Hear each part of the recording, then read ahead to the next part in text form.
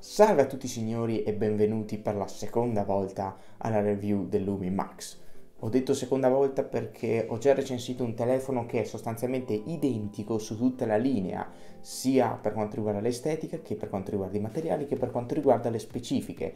Questo smartphone era l'Umi Super che ho recensito diciamo qualche mese fa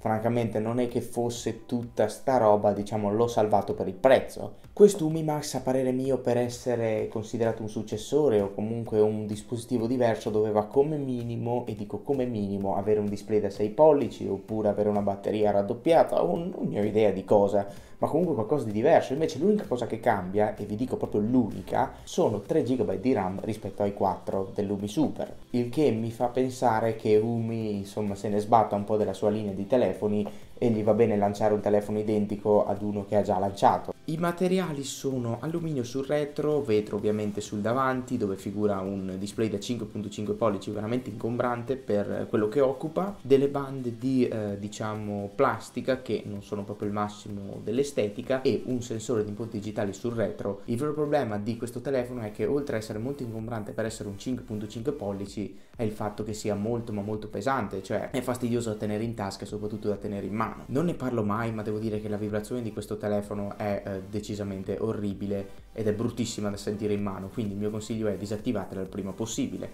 anche se per lo sblocco con l'impronta sembra impossibile farlo i tasti mi hanno dato fastidio perché si muovono tantissimo, cioè sembrano neanche attaccati alla scocca, quasi come se si fossero rotti e staccati e fanno un sonetto quando li scuotete decisamente fastidioso. Il software è Android Stock, quello che trovate sui Nexus. La versione è 6.0 Marshmallow che dona una certa fluidità sia al dispositivo, però imparagonabile rispetto a quella di altri telefoni, ad esempio Nexus, anche più vecchi, tipo il Nexus 5 che secondo me sono decisamente più reattivi. Complice forse la suite di Mediatek perché monta l'Helio P10 che non è un granché di potenza, però si porta dietro tutta la suite MTK, quindi il turbo download,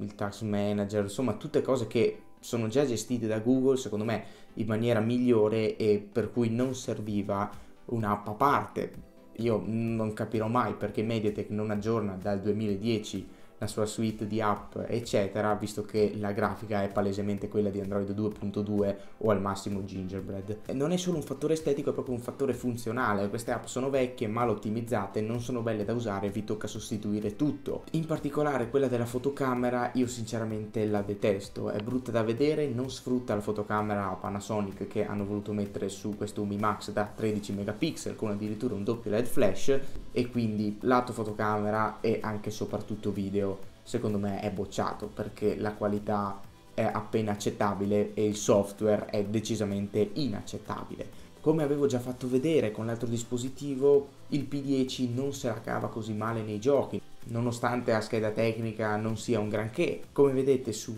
mio test posso giocarlo comodamente in grafica media, in teoria senza cali di frame, ma se devo proprio dirlo è veramente scomodo giocare con un telefono così spesso e così pesante. Su Geekbench 3 abbiamo fatto un punteggio scarsino direi, certo non è paragonabile ai top di gamma, mm, più a un medio basso gamma, che giustifica pienamente il prezzo di 150-130 euro a cui potete trovarlo sui vari store. Una nota positiva è sicuramente la batteria Sony, ci tiene molto Umi a specificare che sia Sony da 4000 mAh o qualcosina di più, veramente capiente anche se la durata non si rispecchia effettivamente nelle ore di display, insomma ci sono telefoni come Redmi Note 3 Pro che con 4000 mAh lavorano molto meglio, questo qui al massimo riesce a farvi 6 ore di display almeno con il mio utilizzo, non ho idea sinceramente del perché, probabilmente una scarsa ottimizzazione su alcuni settori, secondo me si potrebbe lavorare un po' meglio e farla durare effettivamente quello che dovrebbe durare. Dopotutto lo schermo è un Full HD,